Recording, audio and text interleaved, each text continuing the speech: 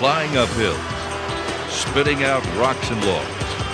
That's the picture most people have of off-road trail riding. That's great fun and competition, but it's only one side of four-wheel and off-road. In this video, we're going to introduce you to another side, the real world of trail riding, an exciting motorsport for everyone. We'll show you everything you need to get started enjoying off-road four-wheeling. Welcome to Introduction to Four-Wheel Trail Riding. People are somewhat intimidated sometimes by uh, some of the vehicles they see on the trail. Of, of basically, a, a stone stock vehicle can, can do it. I think more than anything else is common sense in driving. Knowing how your vehicle is, is set underneath, where your low points are, what is vulnerable underneath, and obviously they can't all make every mud hole. When I first got into four-wheeling, I didn't know a diddly do. I had to beat this thing when I first got it. I didn't have the locker, I didn't have the right tires, you know, and they don't perform there as well. Well, I made the truck pretty before I went for performance, which doesn't help you off-road. But I, this thing wasn't four hours off the showroom floor. I had it on the hills when I bought it brand new in 1980. The best way to find out about trail riding is to talk to the experts, the men and women who trail ride.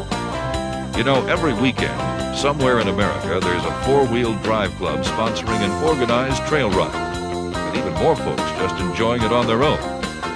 No matter where or how you trail ride, safety comes first. It also makes the trip more fun. After all, who wants to get stuck in the middle of nowhere with no way home? Most four-wheel clubs have inspections before a big trail ride and minimum requirements before anyone can go out on the trail. We uh, go through the suspension and the lug nuts, battery mounts, uh, exhaust system, seat belts, fire extinguisher. Make sure that everything is in working order. Safe to take out on our trails. We've got to have places to hook. Can hook up front and rear. So if they get stuck, which they probably will, when we give a good yank on them, the vehicle doesn't come apart in the mud. First thing we're going to look at is the steering linkage. Would you please move the steering wheel back and forth for me a little bit? I can see in goddamn.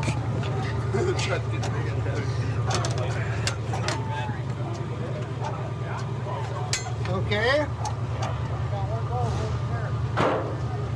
And we check the brake lines just to make sure that everything's there and that the mounts that are holding it uh, to the frame and to the axle are in a proper place and working. We also make sure that all the uh, lug nuts are on the wheels. The suspension and U-bolts all have to be tight and appear to be in the uh, proper order. Well, we're looking for brake lines and suspension parts. Basically the same thing we look for in front, we look for in the back. Again, a secure place to hook, brake lines, lug nuts, suspension. We got a hook in the back, guys? Yeah, it's right there. Okay. And then we look in the cab and just make sure we've, we've got seat belts for everybody. extinguisher by your seat.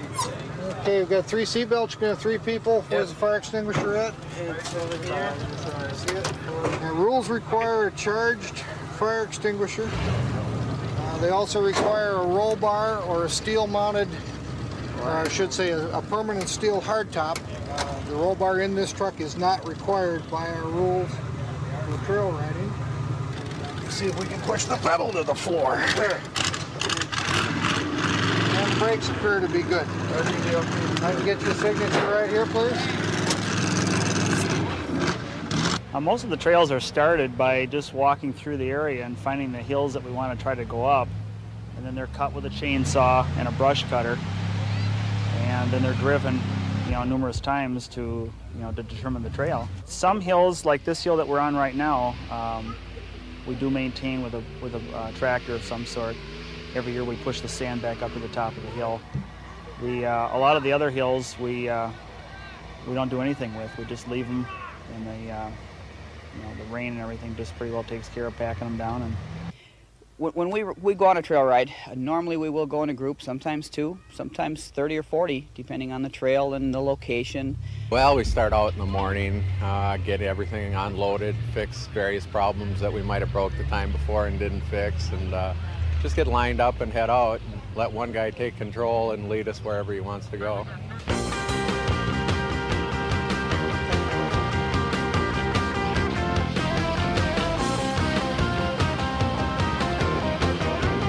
You don't need to spend a lot of money or customize your rig in order to get the most out of trail riding. A little common sense and knowing what to look for can go a long way toward getting into four-wheeling and having a great time once you're there.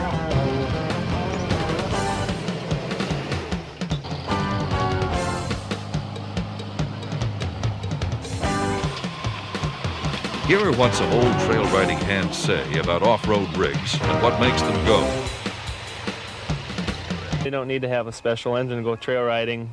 Uh, just a stock engine. Just make sure that everything is up to snuff. If you're going to put a, an engine in for a trail rider or something, you might want to have a, a good carburetor for the hills and stuff like that. Some carburetors aren't built for inclines. Like a Holley carburetor, the floats are in the, the float bowls are in the front and the back, and when you start going up an incline, all the gas runs right out of the float or in the reservoir and runs right down the carb, and floods out the carburetor. This carburetor here has the floats and everything kind of off to the side. It's better to have them off to the side. Uh, it's not a very, very pretty sight under here, but it's uh, reliable as a, as a brand new one. I got an ace mechanic that works on it all the time. I've got a performance carburetor on there that works well. I got headers on there that all adds performance and horsepower to, to the rig. That's about all I've done under the hood, other than just keeping her going. Uh, ground clearance isn't a big issue depending, number one, on the terrain and your driving ability. Uh, reading the trail is, is very important. In other words, watching ahead, knowing where to steer, what to go around. A lot of cases, putting your tire up over a log or over a rock is, is important rather than trying to straddle it or, you know, taking it on the rocker film or something like that. For a four-wheel drive or trail riding vehicle, your best bet is to get a suspension. You usually want to get a suspension that'll get you up in the air so that your tires don't rub in the fender wells, but uh, you don't want it too stiff because then it doesn't follow the terrain. You'll be uh, constantly lifting one tire off the ground. You always want to keep all four tires on the ground as much as possible. Normally when you buy a vehicle from the factory, it would have an open differential in it which means that one tire could spin free. Say that one tire's in the mud, the other tire has good traction, that normally the tire that was in the mud would spin, and you wouldn't be using the traction to be available to the other tire. With the locking differential, both tires will drive. And when you got uh, four-wheel drive with open differentials, you could have one front tire and one rear tire that would spin. With the locking differential, you have all four spin, so you'd have twice the traction. You notice how he climbs here, he gives a little bit of momentum, get up over the bump. And now he's get, trying to get his front tire on that root to get it some grip and climb up that hill. Picture perfect right there. Nice driving. Rattle the hole, follow all the way through. Nice and slow and controlled. Here's the difference in between a locker in the front and the rear and not. Notice how the one tire spins and the other doesn't. Uh, that doesn't allow him to gain traction on the side that needs it, the hanging side. You'll notice that the tires get all filled up with that mud, and as they get onto the dry ground, it makes it much more difficult to gain traction until they actually spin that mud out of there. Greg goes for it, and Greg does it again. Wonderful try. A little bit bouncy off the tree, but wonderful. Nice idle up the hill now. Going fast isn't cool. The slower you go, the cooler you are. I travel in the in the woods with the windshield down. A lot of times we do some some trail riding or some some road riding, pardon me, and we put the windshield up to hold it down. I just use a, a stretchable bungee cord that keeps it from bouncing, and we just hook, hook it on there. It goes up and down real quick, and then the bungee cord holds it up also when we're on the road. Keeps the bugs out of your face and much more pleasant. A lot of times we drive in dusty and gravelly roads, and it's much more comfortable.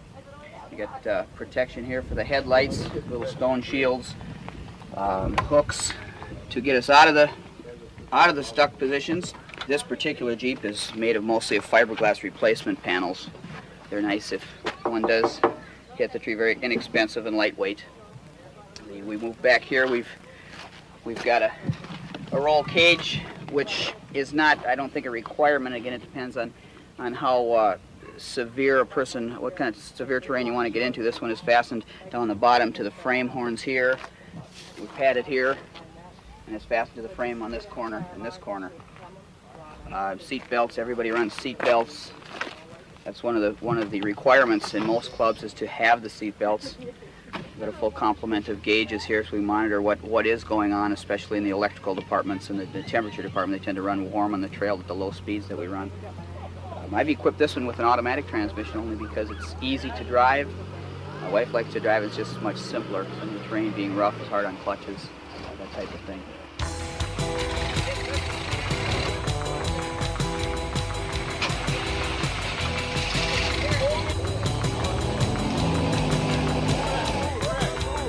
The hills on some terrain can get kind of severe. At moments like these, it's nice to have a little help from your friends.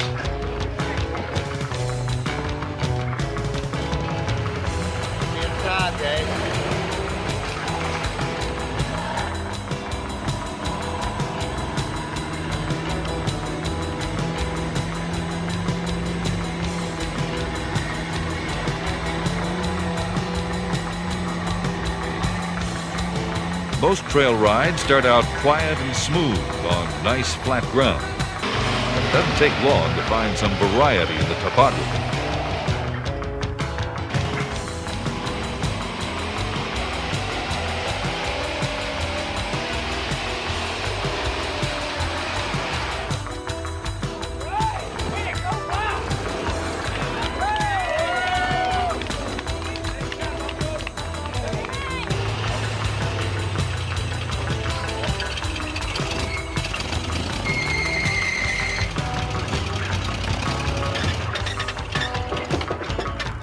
Course, there's more than one way to clear a deadfall.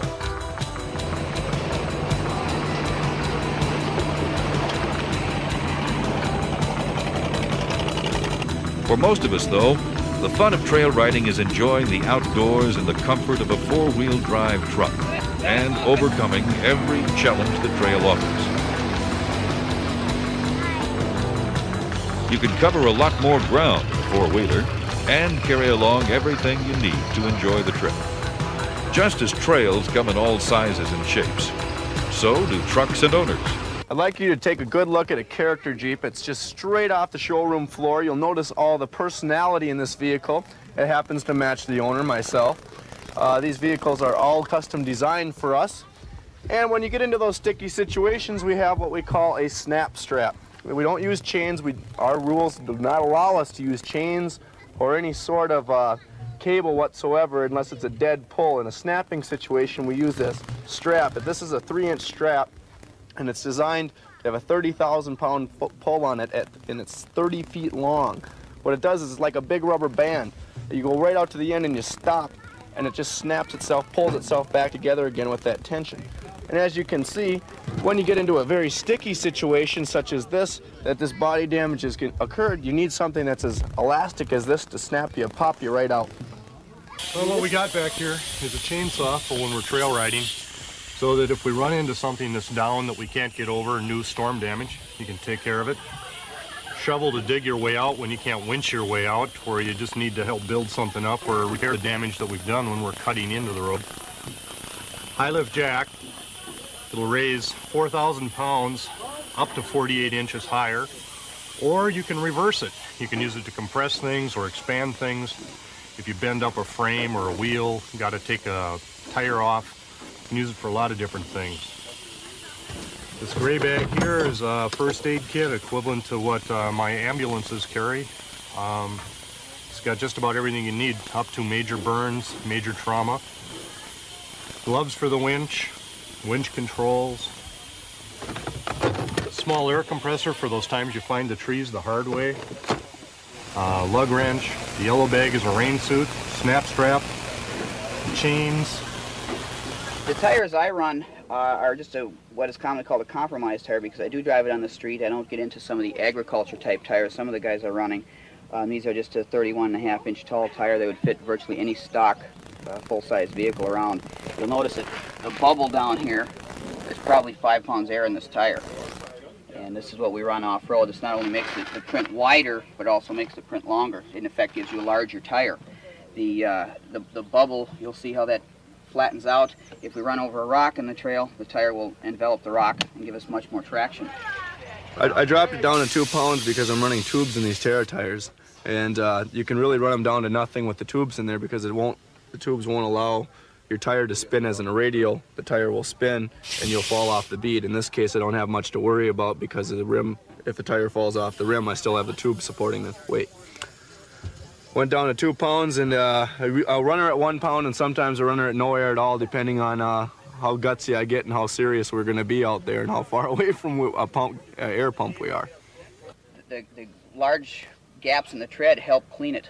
When you get into the mud, the idea then is to, when the mud gets very deep is to spin the tire. That'll throw the mud out and allow you to go through. This tire here is a road tire. Uh, it's got closer lugs, uh, made out of a harder rubber so it lasts longer on the pavement. It's got uh, spacing inside here for uh, snow and dirt to get in and grab onto. Uh, they will fill up in mud, so they're not a real good tire. The mud stays inside there. Uh, this tire here is more of a, a mud tire, sand tire. It's wide, has a lot of flotation to it. It's still got a lot of hard rubber, so it'll last a long time on the pavement. Uh, it does have a lot of open spaces, a lot more lugs to it, so it'll grip better in the mud, someplace where the mud can get into and it can grab onto, and then it'll fling it out once it goes down the road. Uh, then you get over to this other tire over here. This tire isn't, isn't made to run on the road. It's got a real soft rubber to it. Uh, it's made to conform to the terrain that you're on. It's got real wide spacing, a lot of lugs, real tall lugs to grab onto whatever dirt, mud, roots, whatever.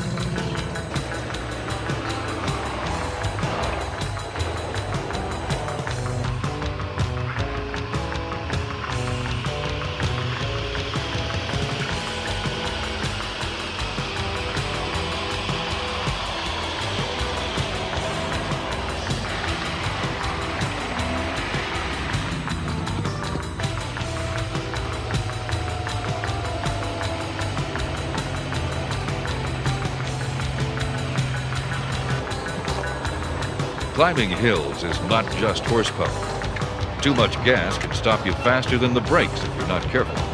Okay, what Diane's going to try to attempt to do is to accomplish this hill by matching her momentum with the terrain of the, of the ground and the ability of the Jeep. She's owned the Jeep for about a year and a half, so she knows how to do it. Now, she's going to enter a hole here, and then she's going to give it a little more power to get out. Right here, the power coming, and she's got another hole. She give it a little more power, and then should back off again and uh, climb the hill nice and easy.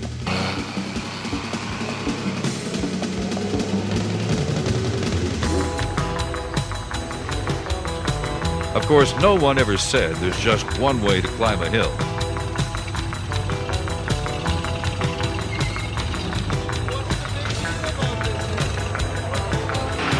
On the other hand, a little muscle in the engine doesn't hurt, especially when you need it.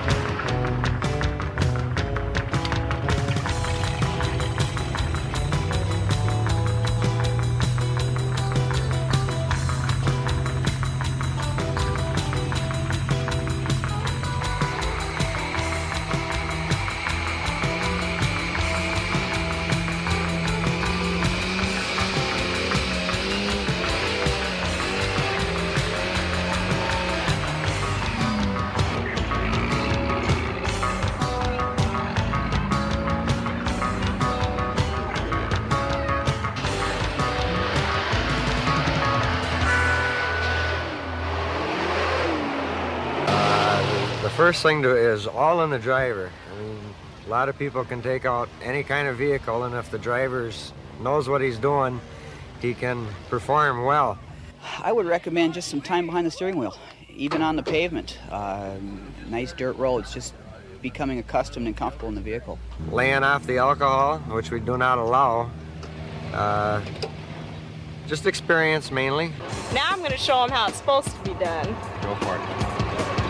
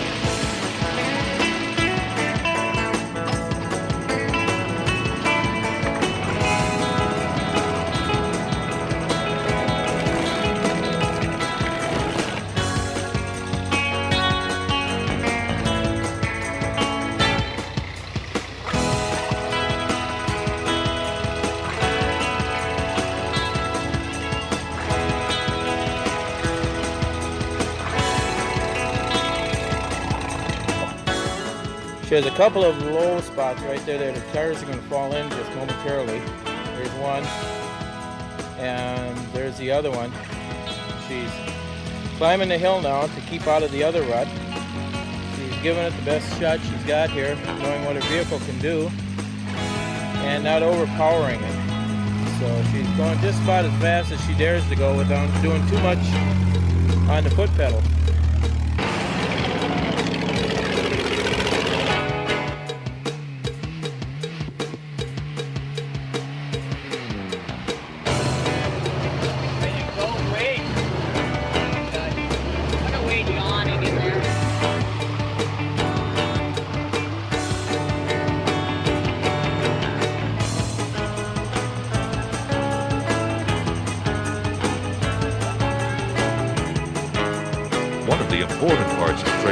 Is locating good trails to drive on.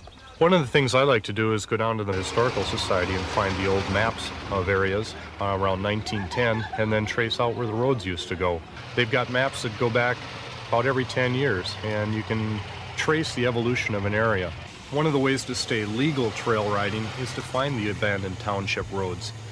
Most of the townships won't go through the legal process to abandon a road so you can run them legally. It might take a little work to find them and a little work to get permission to run them, but most of the time they don't care if you run them. You're keeping them up for them, keeping the deadfall out so that they can use them if they ever need to for firefighting. Uh, you can get into a Jeep for probably less than a thousand bucks or and have it real trail ready and ready to go and have a good time with it.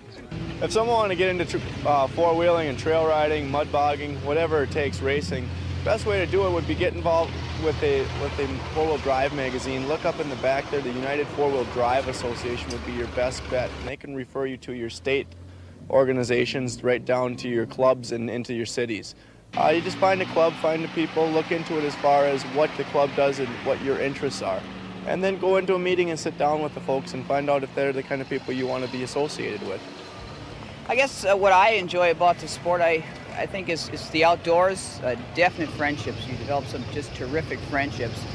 There's a great deal of challenge involved, challenge of building or modifying a vehicle, uh, the challenge of the trail itself. For some reason, stumps and boulders seem to be four-wheeler magnets. Most trail riders just can't resist the challenge to climb any stump next to the trail.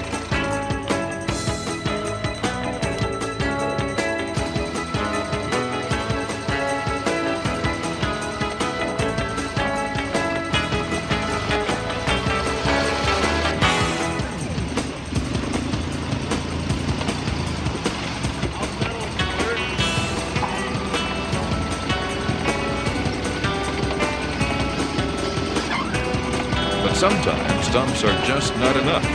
Maybe we should try climbing the whole tree.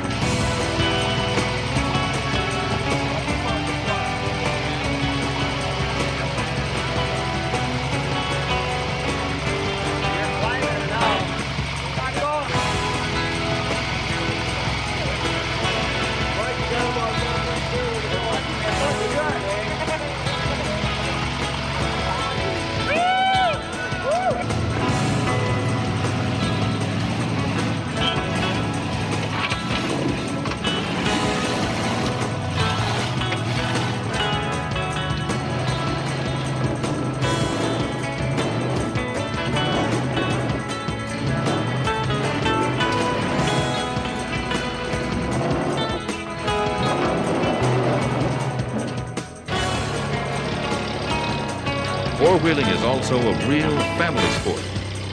I drive my husband's truck. We both drive it. In fact, we fight over. Is it my turn yet? Who's the So- driver? Uh, well, he's the better driver, I have to admit. But I do good. Kids have just as much fun. They are, Mom, Mom, let's go for four wheeling, let's go for four wheeling. They're really excited. this is one of my daughters. Um, in fact, she's she's sitting there. She'll make sure she has her seat ready. she's reserving. But we all love to go. They're all seat belted in all the time that we're on the trails. They're not allowed out of the trucks unless everybody stop and an adult brings them over so that they can watch the other trucks go up. So we're very safety Yeah, conscious. Yeah. How done? Kids love it. I guess it's just like anything else. They like to be with their parents a lot, and they enjoy it, you know, to go out with us, the kids, and uh, they just enjoy the whole deal, being around adults and watching the trucks, and they get to do a lot of things that most kids don't get to do. We've got back seats in here. We always have kids along. We've got handles for them, and of course, seat belts in the back. This is not a real unusual vehicle. Um, basically, it's an improved upon uh, factory Jeep, is what it amounts to.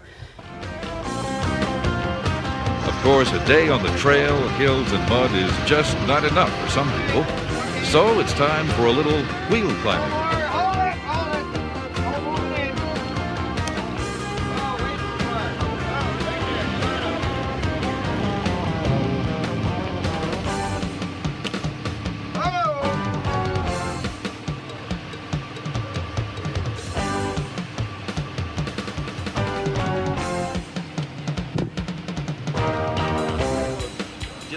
If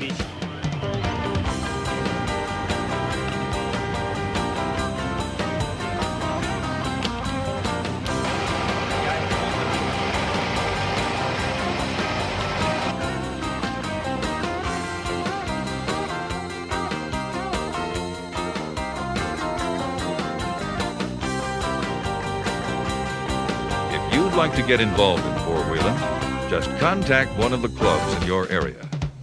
Good luck and happy trails.